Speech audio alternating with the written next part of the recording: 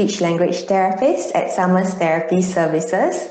Welcome to part two of our foundational webinar series, Talk With Me. So this Talk With Me series is a continuation from our previous webinar. Um, so we have launched the first part of the Talk With Me series in July, where we have covered four different areas of speech therapy. So we have covered pre-verbal skills, language, AAC, and speech. And this time round, for part two, we are covering another four different areas. So we'll be covering play, oral motor, feeding, as well as fluency and voice. So for those of you who have joined us previously, welcome back. Thank you so much for taking the time to join in. Um, we hope that this sharing would be beneficial for you to support your child as well as for your own learning. And for those of you who have just joined us today, welcome, welcome. Thank you so much for joining us. Um, if you're interested in looking at the um, videos from the first part of the webinar series, we'll be putting up a link in the chat box that will lead you to our YouTube channel where you can access the videos. All right, so without further ado, let's start. Today, we'll be talking about play. So before we start, I would just like to share a quote from an internationally renowned child development expert, Dr. Karyn Purvis.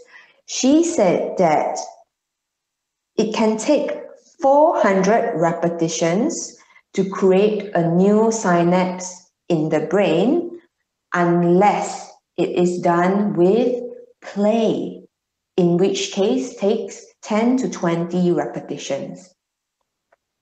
So how amazing is that?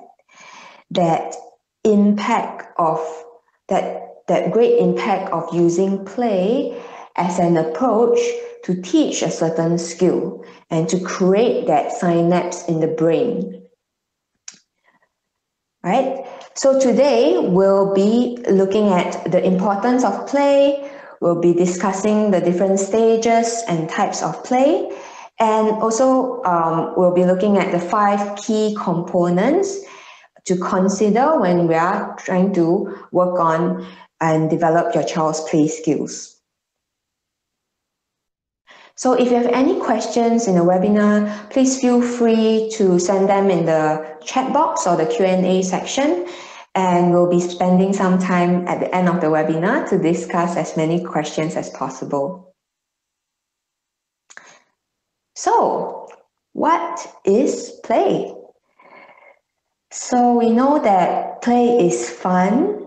Play is something that children do for enjoyment but play is also a universal language of childhood. It is through play that children learn to understand each other and make sense of the world around them. So play is the work of children, is the primary occupation of children. Basically, a child's job since birth is to play. And when they are playing, it's child directed. So it's what the child wants to do is not what we want them to do. And this is so important because children learn best when they are in charge of the activity, not we direct them to do the activity. So when they are in charge of the activity, they learn better. And what does this mean for us?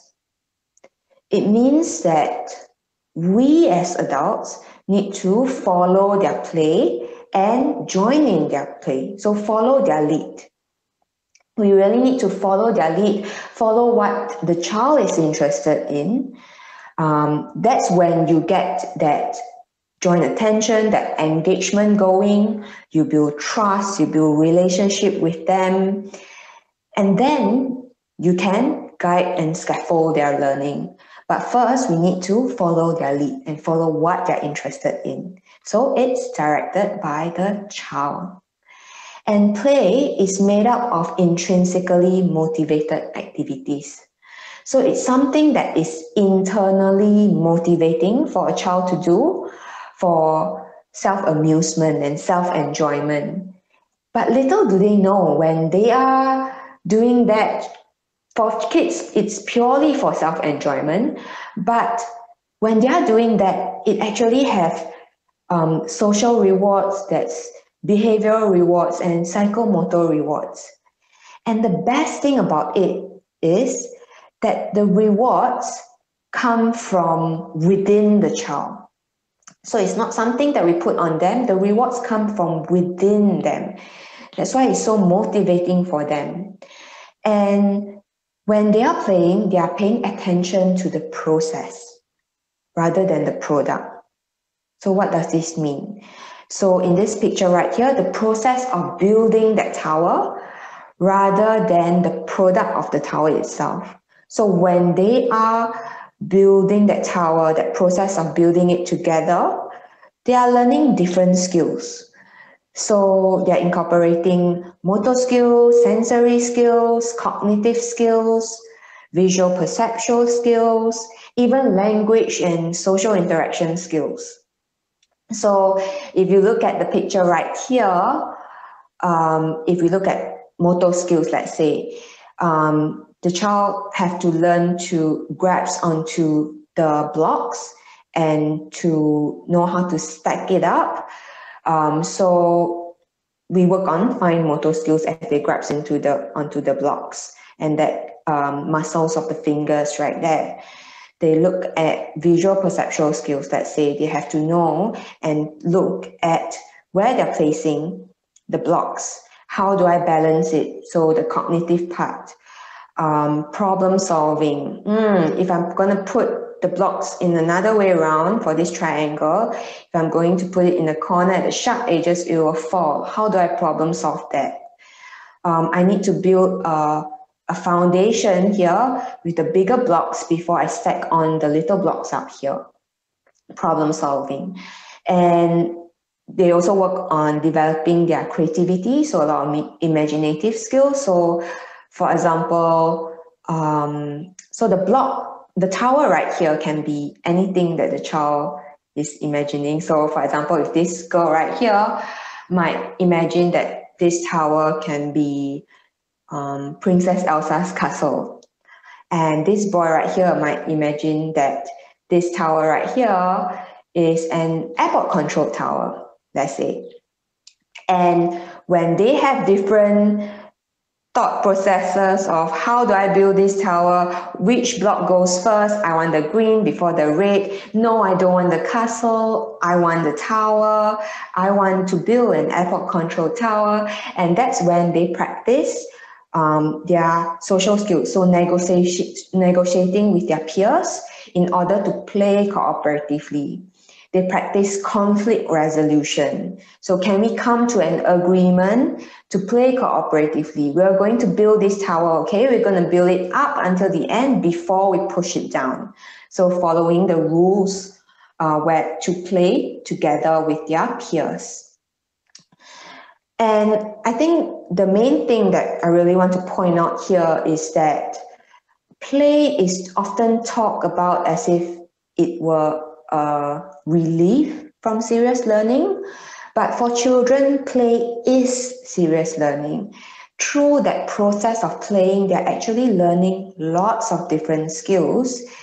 And it's for us as adults to actually join in their play to help to adapt that play in order to target the skills that we are working on with them.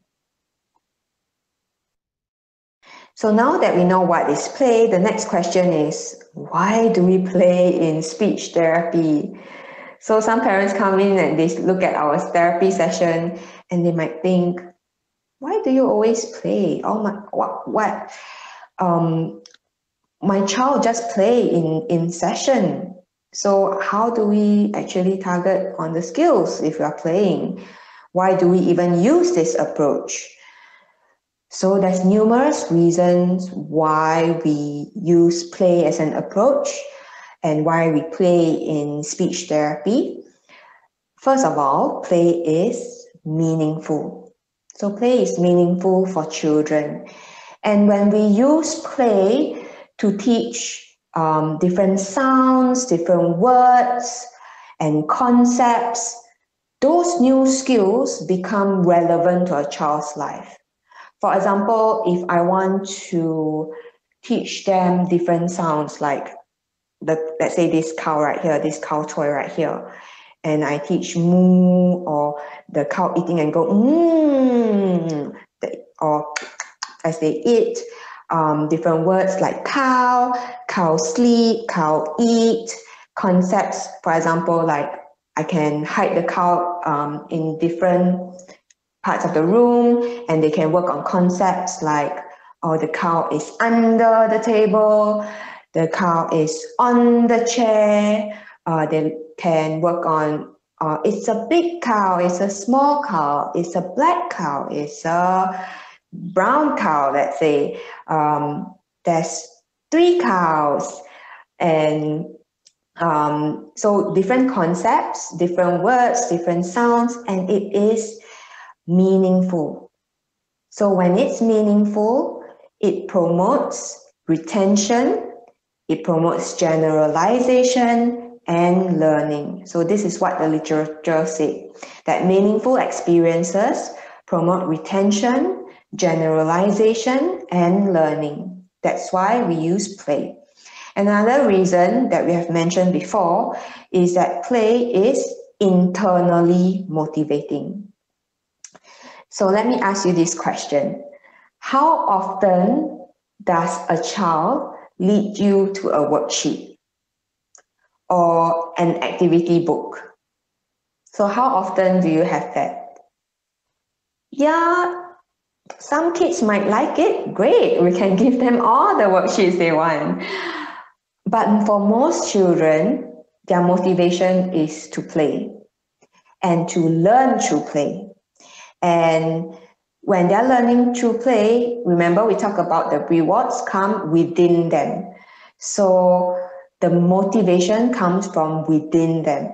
So this is what makes play an ideal way to teach. And research have also shown this, that symbolic play is highly correlated to language development. So what is symbolic play? So symbolic play is the use of an object to represent another object. For example, I can uh, take a block here and pretend that it's a car.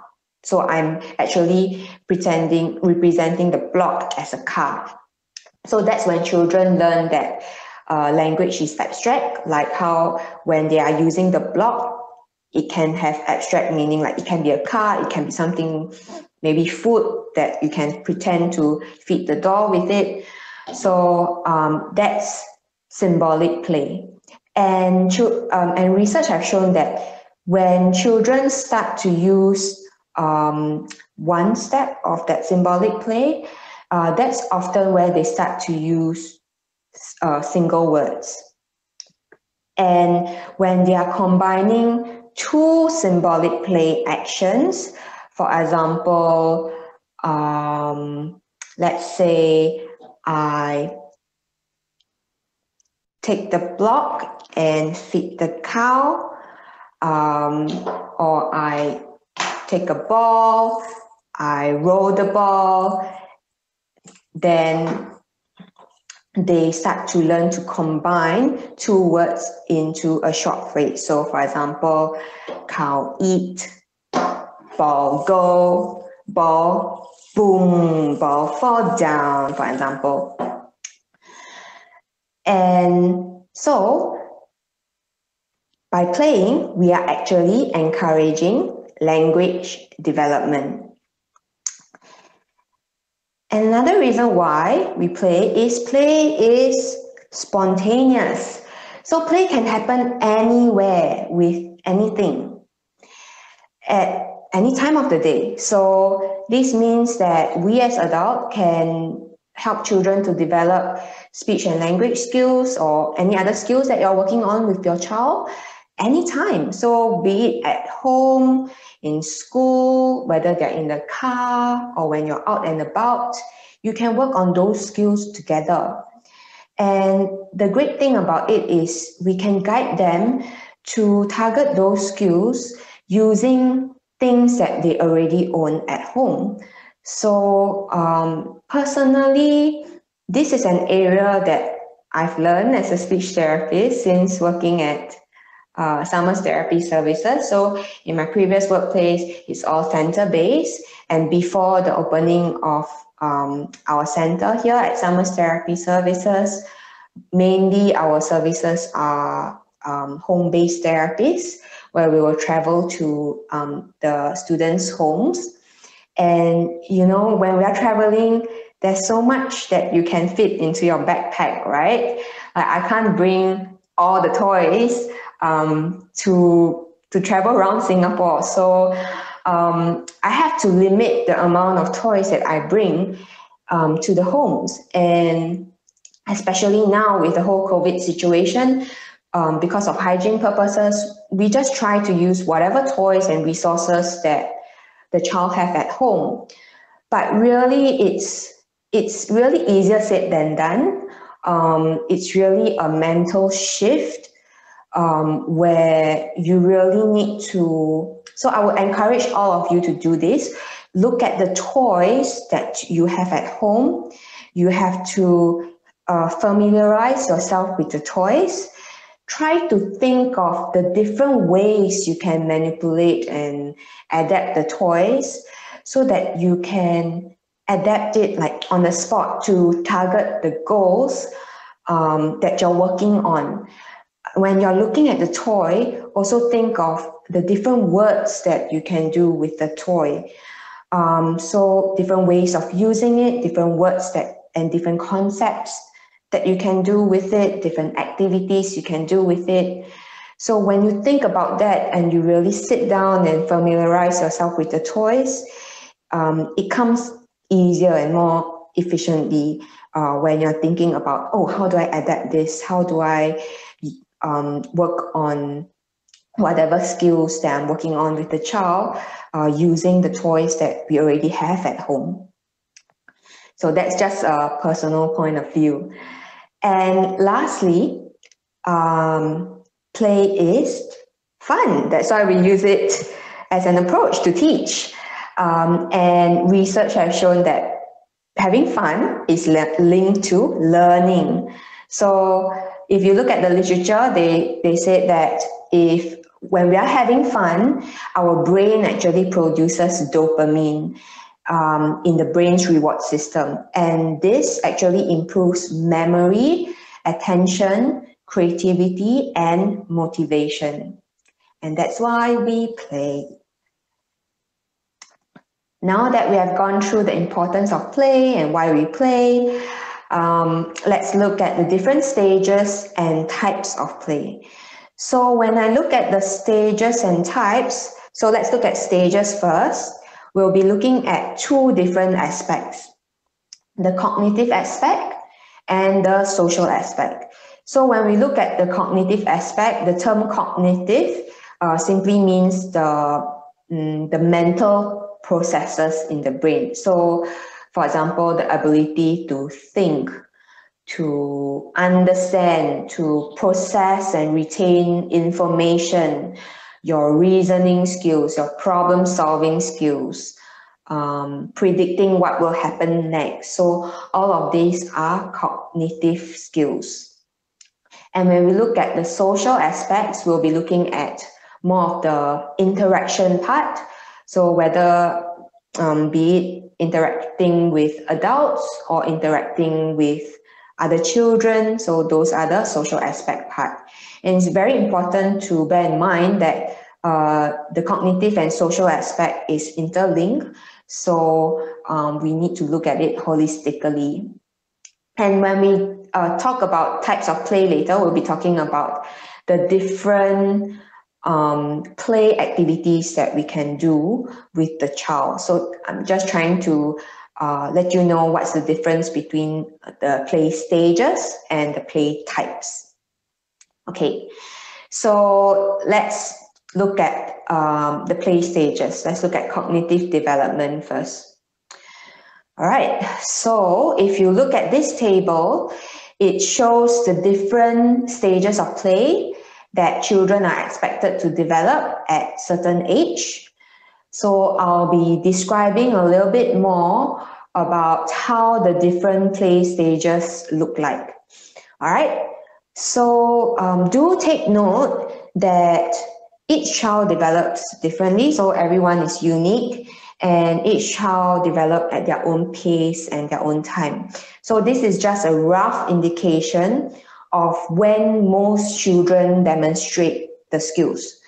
So our role is to figure out where they are and uh, aim to develop the next stage in the play development. So for example, if your child is at cause and effect play, you might want to work on next developmental stage, which is functional play. All right.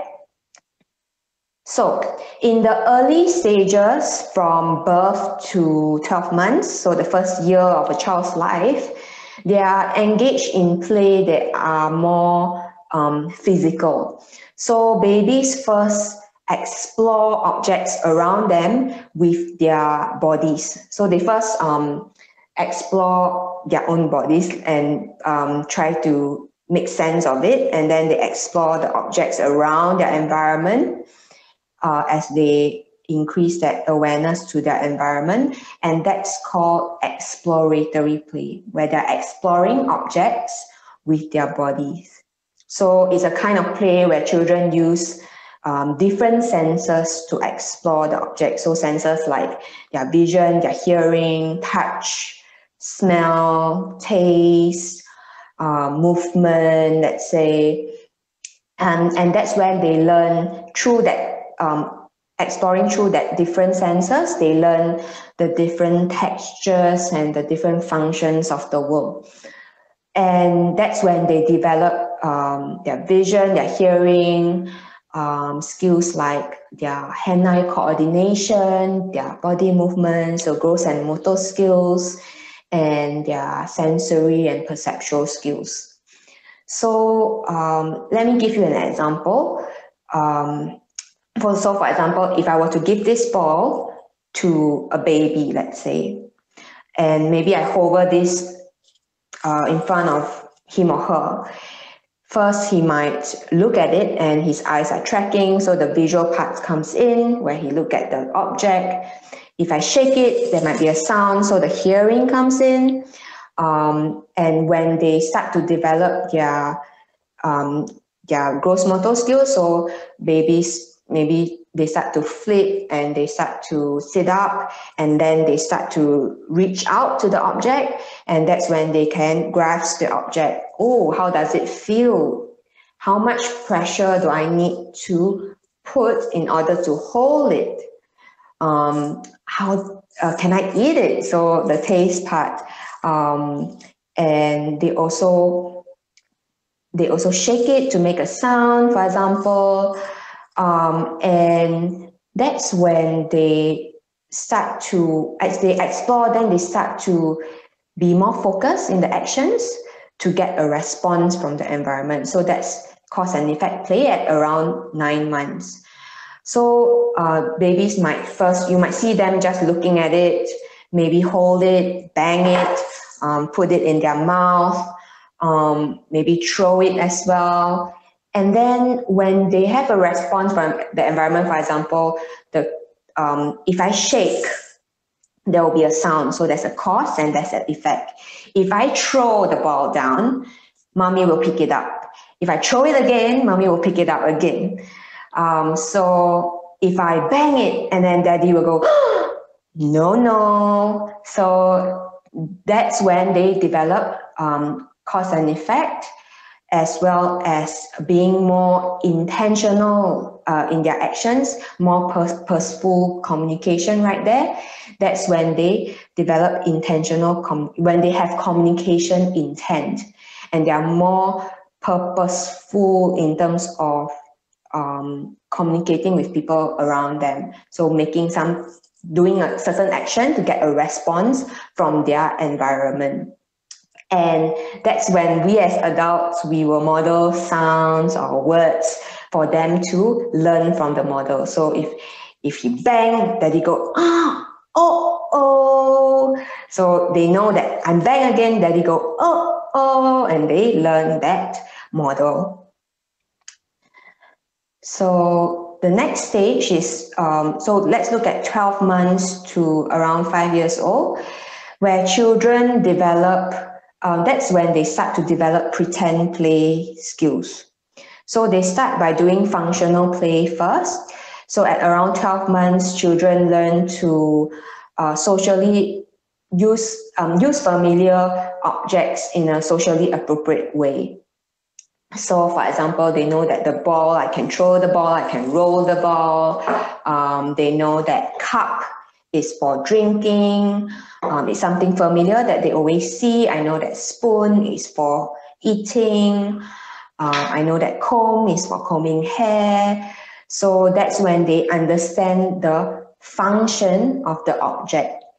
Um, and that's why we call it functional play. All right, and around 18 months old, that's when children um, start to do pretend play with the toys. So doing pretend action using toys. So for example, functional play, they might start with maybe um, using familiar objects and then pretend play. Um, for example, it would be something like there's no food on the spoon, but they are pretending to eat. There's no water in a cup, but they are pretending to drink. So they're doing pretend actions with toys. And that's when they do pretend play. And at around two years, the play sequences become longer. And normally the sequences are sequences that you can see in familiar routines.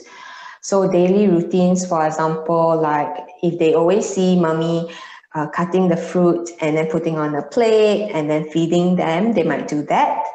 Um, they might do sub object substitution. So just now we talk about symbolic play, where they represent, they use one object to represent another object. In a, another term, we call it object substitution. So they're substituting one object to another object. So I might pretend that the spoon is a telephone and I put in my ear and I go, like that. So they can pretend that way.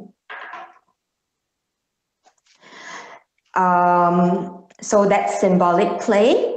And at around three years old, um, they'll do, that's the emergence of imaginative play. So they're acting out familiar activities and events and some fantasy play.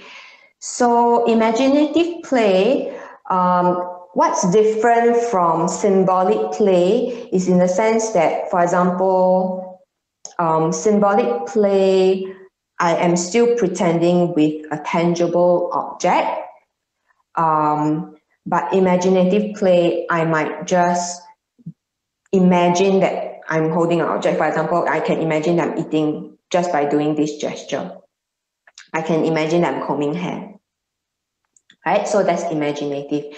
And imaginative can also not only objects, but also uh, maybe I can imagine that I am in a shopping mall and I am buying something from a shopkeeper. So there might not be an adult and a child there, but they can pretend that, okay, um, someone is pressing the cashing machine and then they're buying the food and all that. So they will um, act out that sequence of events.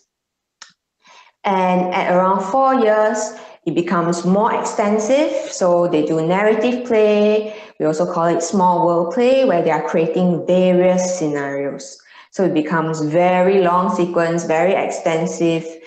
Um, they can pretend to have different roles as well in the play. So, for example, they might be starting with um, being a chef in a restaurant and they are pretending to uh, prepare food for the customers.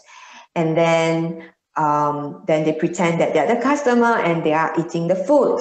And oh oh oh dear i'm having a stomach ache the food is yucky. There's germs in it oh dear, what do I do when I have stomach ache? So there's predictive thinking and problem solving where they need to think, oh, I need to see a doctor and reasoning skills. Why do I need to see a doctor? Because I need to get medication to cure my stomach ache. So things like that. So lots of lots of um, sequences and becomes very extensive with various scenarios. So that's cognitive play development. Um, now let's look at the social aspect, so social play development. So notice that the table is similar um, because it's interlinked with cognitive development. So you can try to look at the age. It's pretty similar right there. So it's interlinked. Right. So from birth to two years old, uh, that's when children do um, they play alone so we can call it solitary play where they're playing alone or it can also be guided by adults. And from birth to two years that's an important time of a child's development because that's when they make sense of um, their own body as well as the world around them. That's when they um, interact, learn about the interaction between them and the environment. And they build on different skills that are important bef- and that is required as a foundation before they work on, uh, for example, pretend play skills. So from zero to two years is really important part of a child's development to develop different skills. So later on, we'll be talking about the types and I'll be going through in more detail what are the skills that the child will learn in different types of activities. All right, so let's look at birth. So at birth, it's more of caregiver play where the child is, so there's not much movement, right? They're still um, maybe in the crib, they're just looking at the adults, and adults is going very near them to um, give um, give them some some modeling. Um, so they might be imitating some facial expression. They might do some um, vocalizing as well using their voice, and then um, their actions become more purposeful. So just now we talked about cause and effect, right? Where they have more focused actions to get a response. So that's the link right there, where their actions become more purposeful. And that's when they start to interact with the adult. And at around five months, they do people object play, where they can share attention on toys, but with the support from adults. So the adults still supporting them to have that joint attention to the same object so that you can talk about the object, um, you can model the language about the object, show them the different ways of manipulating the object. And then around nine months, children uh, start to show uh, and share their toys. So they'll be holding up toys, they offer the toys to get a response from adults. So for example, this ball right here, the child might um, hand it to the, the adult and the adult might put it on a ball run and then it rolls down. So uh, they really like that effect of the ball rolling down and they might hold it up again so that the child, uh, so that the adult do it again. So there's a lot of showing, there's a lot of sharing, or they might put it on the ball run and go down and they go, ah, to share that engagement with the adult. And at around 18 months, that's when they do joint interactive play with adults. So they are learning, so they are developing that turn taking skill now. They are taking turns with adult in simple play. So for example, I roll the ball down, then their turn to roll the ball down. Um, they might imitate action. So the, the parent clap and they clap, the parent um, bang, uh, tap on the table and the child tap on the table. The adults, for example, model a sound like ah, and the child goes ah, or different facial expression. So that's when they do a lot of imitation and turn taking and joint interactive play with adults. And at around two to two and a half years So this is the time, so two to five, where they start to um, develop skills to learn to play with other children. So birth to two, playing alone or playing with adults. And from two onwards, then they start to develop skills to play with other children. So they might start by just watching children play, maybe watch from a distance, but not joining in yet. So that's called onlooker play, where they're just looking from the side and observing from the side. So they might show interest in um, other children in the sense that they are observing them, observing their movement, observing what they're playing, but they are not joining in yet. Um, and then after that, they start to play alongside, but not with other children, meaning that they might be sitting side to side with the child or sitting in the same room as the child, um, but they are still not playing together. So that's called parallel play. So they're sitting in parallel with the child, with the other child, but not playing together yet.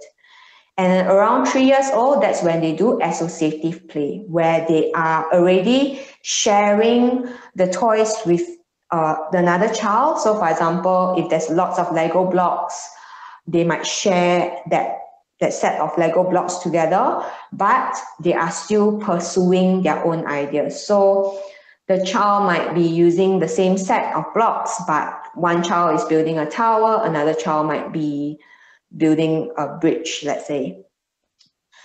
And around four years old, that's when they start to do cooperative play, where they learn to play cooperative with their peers, learn that negotiating skills with their peers, that social interaction, and to follow rules in play. So the picture right there, no, no, we need to build the tower up, up till the end. We're going to put the triangle on top. That's the roof. And then, only then, we can push it down. We're going to build the castle first, then we're going to build the airport control tower. So it's about um, following the rules in play. So now that we have gone through uh, the play stages, or the cognitive and social play stages, let's look at the different types of play activities that we can do with children. So there's six different types of play that we're going to talk about today. Uh, this include gross motor, fine motor, sensory motor, visual perceptual, auditory, and pretend play. So the first five right here is the one that I talked about, that, that segment where there's um, birth to two years old, that age right there, that age range right there, um, children need to learn all these skills during that first two years um, as a foundation and to as a foundation to also build on the pretend play skills later. Right, so let's first look at gross motor. So gross motor activities can be, for example, playing in the playground, whether it's outdoor or indoors, um, and gross motor require whole body movement. So it involves movements of larger muscles. So our arms, our legs, our torso, so our body, our core. Um, and this time uh, for gross motor activities, it's, um, it's important because it's a skill that children need to use to perform everyday activities, be it at home, at school, or in the community. And by the time children reach two years of age, almost uh, almost all children are able to stand up, to walk and run, to walk up the stairs. So things like um, climbing up and sliding down, they really need to figure out, oh, where do I put my body? So I'm working on my on my leg muscles. I'm going to push myself up as I climb. Um, where do I put my hands? Where I need to put my bum down and my legs in front before I slide down. So things like that, they, they have to learn. So those are gross motor activities. And as large, large muscles develop, so the gross motor part develop, then children develop coordination of the smaller muscles like muscles in their hands, their fingers, and also with their eyes. So those are fine motor skills. So some activities, so some fine motor activities include um, things like, for example, this girl right here using the tongs to uh, take the apple up. Um, so things like uh, moving the beach round, um, putting in the shapes into the shape sorter. So they have to be able to grasp onto the shapes and or the Lego blocks right here. So let's say if it's a shape, um, they have to grasp onto it, they have to manipulate it, try to figure out how it fits. So all of those things are building onto their um, fine motor skills. So they have to visually look at um, where they're putting it, how, how the shape is like, and then using their hand and their finger muscles to grasp onto it, to manipulate it, take it out, put it in. So all these skills, um, so fine motor skills are important to enable functions uh, such as writing, cutting, um, even things like fastening clothing, so button up your shirt, or when you're zipping up your jeans, uh, taking off shoes or putting on shoes, all those require fine motor skills. And now let's look at sensory motor. So sensory motor is basically incorporating both the motor part and the sensory part. So apart from just now we talk about gross, so motor skills, we talk about gross motor, fine motor.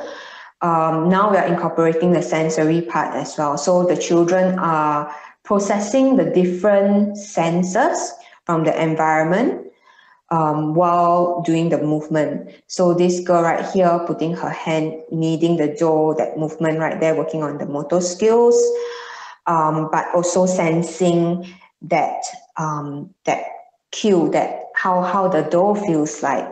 Is there any smell to the dough? Um, is it sticky? Is it slimy? So this one in the water and there's uh, maybe jellies inside and there's different textures. Um, this one, um, the sand and the rock might have different textures as well. And then they grab onto the rock, they might find something inside, they're using their fine motor skills, but also using, incorporating that senses and processing that senses um, from their environment and also swimming pool, um, although there's movement in the water, when I'm on the slide, I feel like it's cold. Um, so different senses. I can hear other children um, uh, screaming. I can hear splashing of water, um, things like that. So incorporating the sensory part and the motor part. So that's sensory motor play. Another one is visual perceptual play. So um, for visual perceptual, it's not the same as visual acuity in the sense that visual acuity is how clearly a person sees. But visual perceptual is how our brain makes sense of what the eyes see. So when we look at something um, for example, uh, this girl right here completing the puzzle. So whether it's a whole puzzle piece or um, puzzle pieces to make a full complete picture, uh, whether it's scanning and see which one matches based on the different attributes. So this bee right here has a sunglasses, so this one match, there's a green um, wings, and they have to match that, they have to scan that, make sense of it, make sense of the pattern. So the Lego block right here, make sense of the pattern. I need to put red here and blue here, green here, yellow here. And when they are making uh, that pattern and understanding that pattern, understanding what they see and make sense of it, um, that is an important skill to learn because uh, it's important for things like, um, for example, spelling, where they're identifying patterns of how to write the different letters and the alphabet. So B goes like this, D goes like this. um, writing, so like combining different letters to make up the words.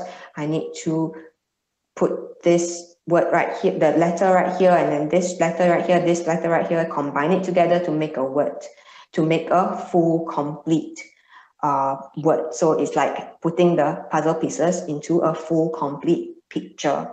So that's some sort of link right there. So if you want to know more detail about this, um, the just for your information, if you um, have not heard of it before, um, so gross motor normally we do work with, um, so mostly the physiotherapist will do it and um, fine motor, visual, perceptual, and the sensory part, uh, normally we will collaborate with OTs as this their areas of expertise. I love um, physiotherapists and OTs. Um, they are the best in all these things and they do help us to um, to work on all these skills that are important for later on when we are working on like reading and writing and even language. So another type of play is auditory play where uh, the child, be it um, using musical instruments or musical toys or um, things at home, so pots and pans, you can bang it, making different sounds. So the child is processing different sounds from the environment. They are trying to make sense of it. They're aware of the sounds, process it. There's different types of sounds in their environment. And then slowly they develop awareness of the different types of speech sounds and then start to learn those sounds. The next one, let's look at pretend play. So pretend play, um, as we mentioned before, the research have shown that pretend play, so symbolic play has correlation to language development. That's why we try to do a lot of pretend play in session as well um, it works on really a lot of skills like language skills, social skills. Children learn also to look at things from other people's perspective as they role play. So um, they develop the theory of mind. So for example, oh, they can talk about the mental state words like, oh, the baby is hungry, he's crying. Oh dear, what should we do? We should feed him oh, this girl right here is sad because she's she doesn't have a turn. Um, what should we do? So things like that, where we can talk about um, something that is familiar to the child. We talk about the mental state, what how the person is feeling, what the person is thinking, uh, reasoning skills, um, problem solving skills. What do we do next? Um, how do we solve the problem? So we work on different skills through pretend play. And pretend play has different themes as well. So we can work on, um, for example, uh, doll play, uh, doctor play. We can do um, pretend play with food, so like cooking. Um, we can do with vehicles as well. And also settings that are familiar with the child, like going to the playground, and then we can role play that way. So when we look at pretend play, remember the table that we that I showed you just now? Um, we start with simple actions first, with familiar objects, and then we slowly extend. So now that we have gone through the stages and types of play, let's look at the five key components to think about to help us guide um, and support uh, a child's play development and play skills.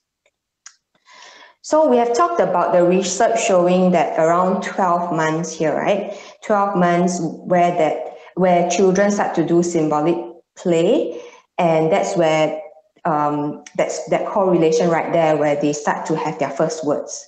So when they do symbolic play, that's when they start to do uh, to have their first words emerging. And that's why we look at play skills in speech therapy sessions so um, the child really need to understand that language is abstract, like when they do object substitution in pretend play, the object can be whatever they want to be, so it's abstract. So there's a link there, there's a correlation there. So uh, we notice that there's a gap uh, between after the child do cause and effect, then um, helping them to develop pretend play skills. Uh, we find that there's a gap there, and normally we start to build on those play skills if we notice that that is the, the challenges that the child has. Right? So how do we build play skills? So today, I think my main point is that we are talking more on the pretend play portion of it and how to build that because we know that pretend play is correlated to language development. So how do we build on play skills? Sorry. Um, so first of all, I want you to think of um, play as if it's like a musical play. So if you've never been to a musical uh, play before or musical theater, um, think of it as if it's like a you're going to the cinema for a movie. Right? So first of all, what do you need?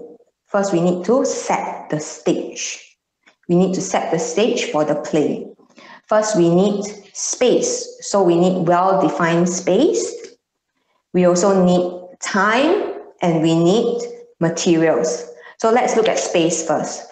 So like when you're going to a play, you either go to the theater, you go to the cinema. So that's your space. So for children as well, when they are playing, you have to set up a play area um, for them to play, be it at home or at school. We do set a corner as a play area um, time. So you can start with so younger children who are still trying to develop uh, pretend play skills. Maybe you can start with around 20 to 30 minutes. Then as they grow older and have, um, or they start to develop longer um, play sequences, then they can extend that time, maybe go around 50 minutes to an hour. So let's look at materials. So when you go to a play, there's props, right? So when children are playing, they also need their resources, they need materials. So what kind of materials can we use? So for children who are doing early pretend play, uh, as we mentioned before, um, that functional play right there, that's the emergence of pretend play. We can use realistic objects. So things like every anything that's around your environment. So cups, uh, phone, key, so realistic objects. Um, and when they are sequencing more uh, play sequence, then we can use more open-ended objects. So things like Legos are good, blocks. Uh, so basically you're thinking of things that you can kind of put together to make up different things. So like blocks and Legos are good because uh, you can actually make it into different things. Like I can make it in a car, I can make it in a tower, I can make it to whatever I want it to be. So it's open-ended, it's based on the child's imagination. So in the classroom, normally we encourage a mixture of different objects. Uh, so the realistic objects, um, different toys, open-ended objects and different toys with different themes. So you want a variety of themes. So you, you can do vehicles, animals, and different kind of animals as well. Sea animals, farm animals, zoo animals, even dinosaurs. Um, we can do transport, we can do um, doll figurines, um, cooking, so like food, so food-wise, you have fruits, you have vegetables, you have meat. So there's different, different um, themes. You can even have your own uh, themes based on events like uh, maybe a, so Christmas is coming, so a Christmas, Christmas theme, let's say. Yeah. So now that we talk about setting the stage already, let's look at the five key components um, to consider to build play skills. So first of all, we want to follow your child's lead. So when you go to a play, what do you need first? You need a director. And what did we mention before at the beginning of the slide? Let your child direct the play. So they are the director of the play. Right? When they direct, it encourages initiation and it develops metacognitive skills as well. So they have their own idea, they de- develop their own imaginative skills and creativity. And also by following their lead, we are being sensitive to their interests and also their emotion. And that's very important because when we are attuned to them and their emotion, it helps with social bonding and it helps with self-regulation as well. Um, and as you connect with them, it also builds trust. And that's when we can guide and scaffold their learning to um, to support building up whatever skills they're working on. Without that trust, is it's very hard for us to be engaged with them and for them to trust us to guide them. So we really need to uh, go into their world first, follow their interests, follow their lead. All right, remember the child has to be the director. After having the director there for the play, what else do you need for a play? So we need a script. What is the play about or what is the movie about? We need to have a theme. So for young children, um, the theme, the script can be um, made up of daily routines. So routines at home, routines in school, or personal experience, like for example, if they just had their birthday or even like family events. So those are the play scripts that you do with your child. So at home you have, um, let's say you wake up and then what do you do throughout the day? You wake up, then you shower, then you eat, then you go to school. So that is their play script. And for older children, it can be play scripts from, for example, books. So stories like they can role play stories like Three Little Pigs, Red Riding Hood, um, Goldilocks and the Three Bears. So um, it's more abstract. It's more out of their routine. Um, and it can be from TV shows as well. So I personally have this um, kid that I'm working with that love Thomas, and he has been telling me the the best stories ever about Thomas and his friends and the different adventures that they are going to.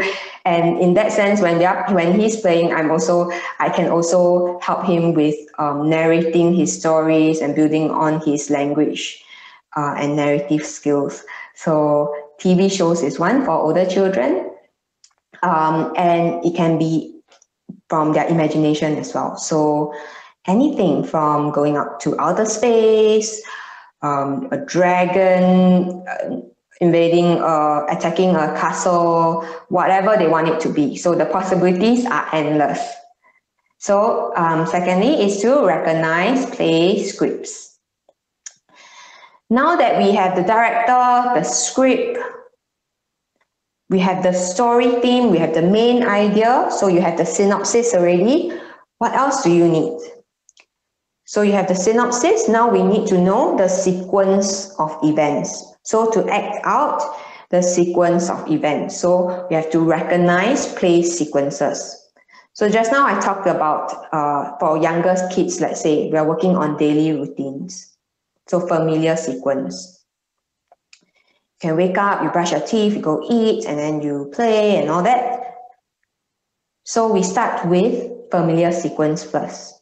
So for example, if you want to take on uh, the sequence of the child eating, you can do things, you can demonstrate play actions like uh, when you're preparing food, first you have you cut the um, bread and then you put on the plate, and then uh, the bear eat it, let's say. So that's three different play sequence. And slowly they will extend it to maybe opening up a restaurant where you have different food or going to the beach for a picnic. So um, you start with one sequence first and then slowly add on or wherever the child is at and then slowly extend it. So, oh, and you can expand or extend. So when you expand it, for example, you cut the bread, then you cut uh, the different fruits, the different food. So you're still doing the same thing, but you're expanding to different items. When you're extending, you're extending to after I cut, then I'm going to put on the plate. After I put on the plate, then I'm going to feed the doll. So you can expand and extend the play sequence. And while you are doing that, use emotions, your voice, your face, show expression, and your body. So things like when you're cutting, so let's say I'm cutting the apple right here, I just don't go, oh, cut apple. That's not fun at all. So I will do things like, oh, ah, cut, cut apple Mmm, yummy apple, yummy apple in my tummy. Yum, yum. Eat. Apple is spoiled. No, don't want apple. So I'm using my facial expression, my body, my voice. Um, oh dear, I'm so sad my apple just dropped. I don't have anything anymore. So I'm talking about emotions. I'm using that tone of voice to show my emotion as well. So to demonstrate emotions, voice, facial expression, exaggerate it as much as you can so that the child is also interested in that um, and use your body. And when you're also exaggerating what you are doing, your tone of voice, your facial expression, and all, um, you're also encouraging your child to imitate you. So you can first model it and pause. So, for example, um, so first of all, get your own toy. So if the child is holding a knife to cut a certain food, you are also holding a knife and cut the food to model it for them. So get your own toys and then you action it out for them when you're eating, mmm, and then you pause and look at them. So you're not just waiting, but you're pausing and looking at them expectantly, waiting for a response. And if they're not imitating you, you can model it again. Um, or you can give them some cues like, oh, Bobby eat apple, then get them to eat it. Um, visually show them, oh, apple, cut apple. So getting them to, um, encouraging them to cut as well, to imitate you cutting the, the fruit. Um, or you can even use hand over hand uh, prompts where you are holding the child's hand and trying to get them, um, guide them to cut together. And we want to repeat the play sequence and talked about it. So we have to repeat multiple times, repeat and bombard them with the same um, model of the sounds, the words, the actions. So lots of repetitions. So we're looking at, for example, words, I would encourage you to do around three to five of the same words that you're targeting in one interaction. Mmm, cut, mm, cut apple. Mmm, yummy apple. Oh, apple finish. I need more apple. Let's cut more apples. So I'm repeating multiple times of the word apple in that interaction. So we, re- in terms of play, you repeat the sequence as well. You cut the apple, then you cut the cucumber, you cut um, the watermelon. So you're repeating it for them to see and and to follow as well. And you want to watch your child's responses. So you want to be attuned to your child. Remember, they are the director, so we can model for them, but we also want to be attuned to them. So watch their responses. If they're showing like mm, they are not so interested in it, what can we do to adapt to gain their interest? Maybe they're not so interested in food. Maybe they're interested in the ball. So let's follow their lead and then we can model to them how to use the ball. So I can throw the ball, I can roll the ball, I can put the ball on the ball run and let it slide down. So there's different ways that you can do this. Um, so it's really important to watch your child's responses and adapt accordingly and respond accordingly based on their reactions. So now that we have gone through, uh, you have your director there, you have your script, you have your sequence. Now we have to scout for actors in the movie, right? We have to scout for actors in the play. So who's going to act out the role? So in order to act out the role, we have to act out the character. So we need to join in the child's role play. So when we join in uh, the child's role play, so for example, the child um, might be role playing uh, the lion, let's say, and we are role playing someone else, we are actually helping the child understand what character, what the character is thinking and what the character is feeling. And that's when they can learn how to take, um, to understand from different perspective for, to understand from other people's perspective. And that's when they develop the theory of mind. And we also want to encourage decentralization. So decentralization meaning that we are actually um, getting away from us as a to to actually decentralize to involve a doll-like object. So we let the doll do different things and we model the doll's thoughts and emotions and we model what the, the doll might say in a certain situation. And last but not least, we have to narrate the play.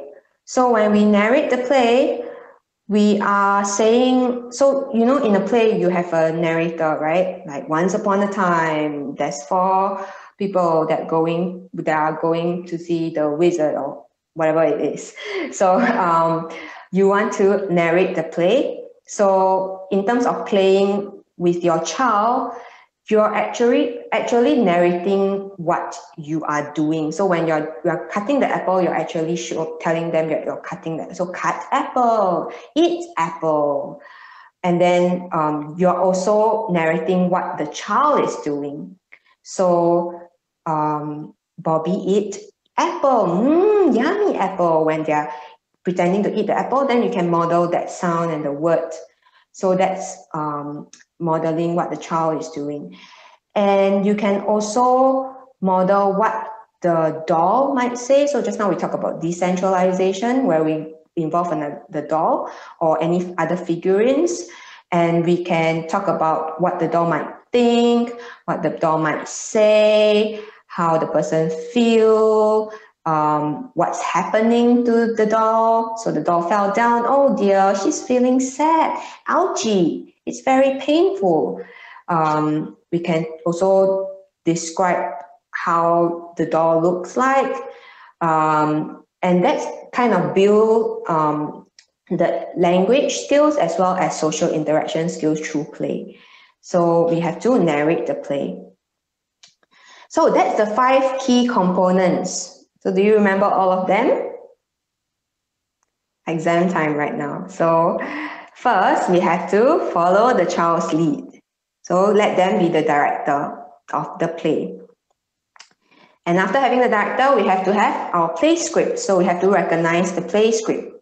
What are we going to do? Like what theme are we going to do with the story? What's the main idea of the story? What's the main idea of the play?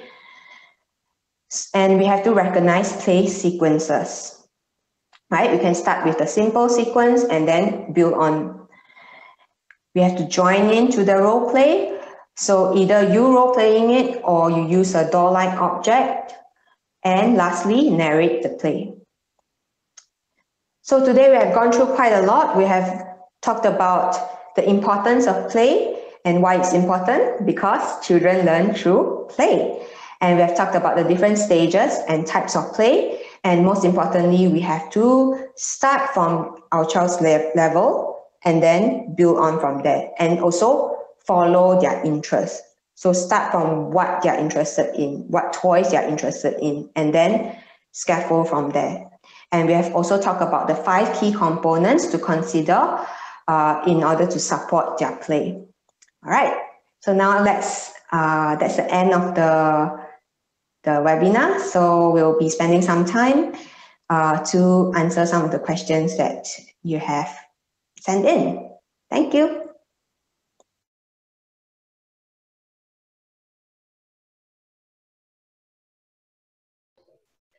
Okay, everyone, um, thank you so much for um, your time with the presentation. I hope uh, you all had a great time learning. Um, there's a lot of information I know and we're overrunning a little bit. Uh, so now we'll answer a couple of questions here. All right, um, let me see. Okay, someone has asked, um, hold on, let me look at all the, wow, there's quite a few questions. So let me have a look at this. Because of running out of time, we'll just um, do a quick one. All right, okay. We'll just answer two questions. Uh, I may just answer the questions. All right. Okay, so the first question is, when can we start teaching a child to do uh, pretend play? All right. Um, I think Jayne has mentioned about the developmental stages.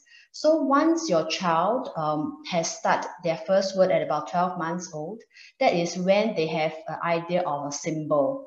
And that's a good time to teach the pretend play. So for example, your child may take a pen and then put it to the ear as a as a phone. So that's when you start to know that, oh, my child actually has got an understanding of symbols, symbolic and the child may have the first word to tell you like things like a phone or ball and that is a good time to progress on the pretend play.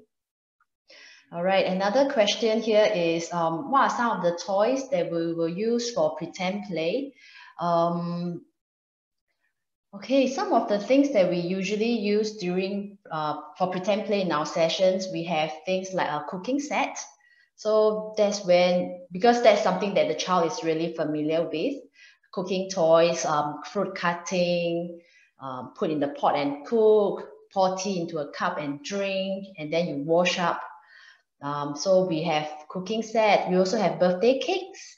Um, kids really like that. Like it's a it's a fun and joyous occasion. So they learn things like um, I put on the candles, I'll light them up, and then I'll sing a song and I'll cut them.